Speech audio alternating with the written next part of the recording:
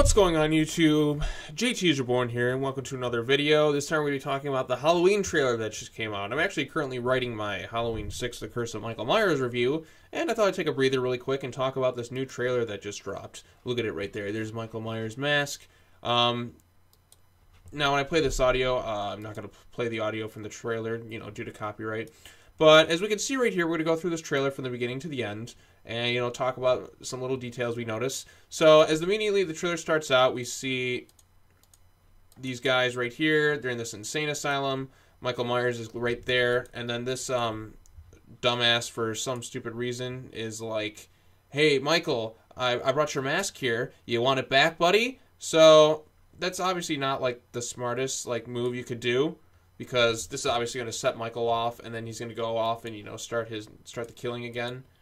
And then we see right here, we see these characters. I think that's supposed to be Laurie Strode's granddaughter and, you know, two of her friends. You know, it's obviously Halloween right now, and it looks nice, you know, photographed pretty well. Um, Laurie, as you can tell, is definitely, like, been preparing. She's got that cool little, like, moving kitchen counter right there. And that, oh, she's obviously got the, uh, the stab wounds, like the scars from that night. Look at her. She's, like, you know, ready to kick ass. She wants to kill Michael Myers. Look at her old ass kicking lady.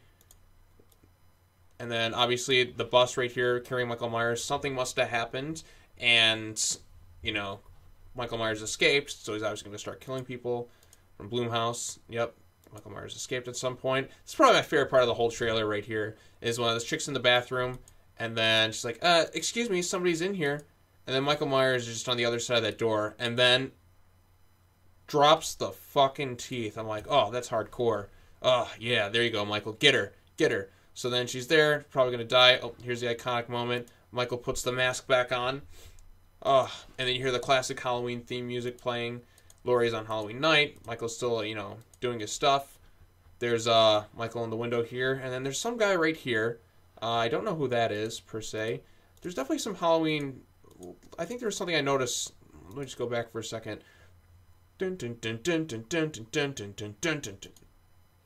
Wait, let's go back just a frame. I think I saw at one point in this trailer. There's some kid with like a silver shamrock mask. There's Michael chasing. There's Laurie. She's like, ah, right there. Go back, back, back, back, back. Oh, ah, I missed it. Damn it. But if you look, come on. Yeah, go. Right there right here. There's the mask. There's one of the three match- masks from uh, Silver Shamrock. So that's pretty cool. Um, there's Laurie. She sees Michael. Obviously, that's a mirror, so she didn't get him. But like Jamie Lee Curtis looks pissed off, ready to go, kick ass. It's gonna be great. Michael. It's gonna be hardcore, violent. Now, let's keep going. Oh, here's a closet door gag, or oh god, Michael Myers. Oh no, whoa. So that's pretty cool. Um, yeah, I, I'm definitely digging this trailer. It's it's got me hyped. It's got me excited. The Halloween series honestly needed an overhaul. I had an idea for something that they could have done after Resurrection, but again, this is such a weird series because how many different like continuities do we have now? We have you know original Halloween one and two, and then you know that continues through like Halloween six. Oh wait, but no, three doesn't count because that's not canon. Halloween one, two, four, five, and six. There's that continuity. There's Halloween one. There's kind of Halloween two, and then H two O. And even though it's kind of like you know, like is it really two in canon with H two O? And then there's the Resurrection. Then you have the Rob Zombie remakes. You have Halloween here, and then you know this completely ignores every other sequel and just goes straight to this one. It's very bizarre how like this continuity works in the Halloween series. It's like all these are different like universes. Maybe somebody traveled back in time and tweak things. I don't know what the fuck's going on with these continuities for these movies, but this one is trying to be a palate cleanser. It's trying to get rid of all the other films just so we could have something focused. Now, I recently read a report that they have ideas for sequels to this movie, so it tells you this is going to be open ended, and they want to make sequels. Which, you know, I'm just like, ah, but you did say in the, the synopsis this is the final showdown between Laurie and Michael Myers. I think this one's going to be a good, a really solid sequel. Like just everything seems to be going right. Carpenter's back for the music. The people involved obviously wanted to make this movie. They have passion for it, and I think they're going to get it right. I really think this is going to be a solid Halloween film maybe the best since the original. Uh, my personal favorites, you know, obviously one, and you have four, and then H2O. And there's, you know, part of Rob Zombie's first remake I think is pretty good. Um, the second one's not, but yeah, there's still some like bad Halloween movies. But I'm still a fan of the franchise, even if it's good or bad. I'll still go see it. Obviously, I mean, if this didn't have Michael Myers, it wouldn't have the appeal to it. But since it is Michael Myers, and we are familiar with this franchise, uh, definitely gets me excited. It's kind of strange too to think that Laurie and Michael are no longer going to be siblings in this continuity because it's just like I'm so used to that. I'm so used to Laurie Strode being the sister of Michael Myers. It's just been well established in the Halloween lore.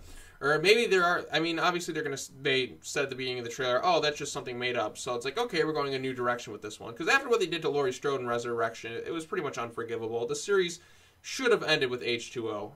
It it really should have. That should have been the end where she chops off his head. If we never got Resurrection, got the reboots, uh, the remakes by Zombie, I think we'd be in better shape. But because of Resurrection, it, it just wasn't satisfying as a way to end the series. So they sequel baited, and you're just like, fuck that, man. So yeah, I'm definitely very excited for this Halloween movie. I can't wait. All those signs point to it being good. I think fans are ready for this. I think audiences are ready for another Halloween slasher movie because we don't get fucking slasher movies anymore. It's really disappointing. I mean, the last one I saw in theaters was Texas Chainsaw 3D. I mean, give me some more of these. I mean, we've had Exorcist movies, we have ghost movies, we got like a bunch of superhero movies, which you know I love that stuff. But I want some classic slasher movies in the theater. I haven't seen one in forever. I think The Strangers too was one, but I didn't see that. See, go figure. I get one. I didn't see it, but I want like a class, you know, like the classic franchise. You know, the big three. You know, Freddy, Michael, and Jason. I want them back on the big screen.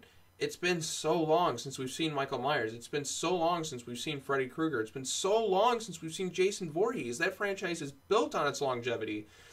I have a feeling we're if this movie is a success, which I think it will be because there's a lot of hype for it.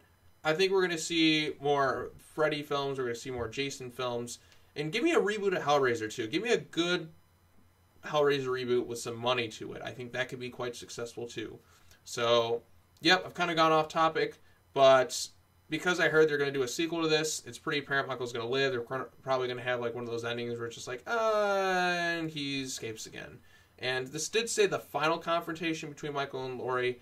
So I don't want Laurie to die unless she gets rid of Michael Myers. Like, I part of me is just like, I would like to see more movies, but at the same time, that's what reboots are for. I want the series to go out on a high note. I mean, I'll, I'll still go see them because I mean, you know, Halloween movies. I, I love Michael Myers. Why, why wouldn't I go see him? But I do want the series to go out on a high note, like like Hugh Jackman did with Logan. Like that's a great way to end the series. Or like when they just ended the War of the Apes, the Planet of the Apes trilogy with uh, Matt Reeves in that. The way it ends, I'm like, I don't need any more. I mean, you could possibly continue it, but I don't need any more. I, I I'm satisfied with the way it's ended. It's a great three part storyline. It has a beginning, middle, and end. Uh, Christopher Nolan, the way he ended his Dark Knight trilogy, as cool as it would be to return to that world, we had a definitive ending, which is something I feel like a lot of series have lacked. Just a good, solid ending, because they always sequel bait them. But like, it, some things are just like, you know what, let's just end it as a trilogy, and then we'll move on. So, yeah, uh, hopefully this movie, if it's good enough to where they warrant a sequel, then let's do it. If it's just like, if it's a cheap ending, then I don't want to see it. So, yep, those are my thoughts on the Halloween trailer and review. I'm definitely really looking forward to this movie. And I'll, uh, I'll talk to you later. My phone's ringing. So, yep, take care now. Bye-bye then. Comment, like, subscribe. Follow me on Twitter, twitter.com slash uh, Sean JT King. And, um, yep, uh, fucking phone.